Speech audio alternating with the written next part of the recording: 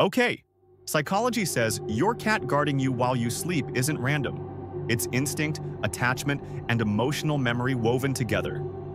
In the wild, sleep is the most vulnerable state for any animal. Cats know this deeply, so when you lie down, your cat's brain switches into protective mode, even if they look calm. First, there's territorial vigilance. To your cat, you're not just a person, you're part of their territory. Guarding you means guarding their world.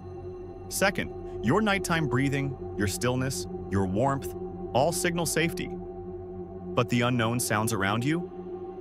Those trigger their instinct to stay alert. So they position themselves where they can see the room, the door, and you. Third, there's bonded security. Cats don't guard everyone. They guard the one they trust most. The heartbeat, the scent, the energy you give off in your sleep calms their nervous system. And in return, they offer silent protection.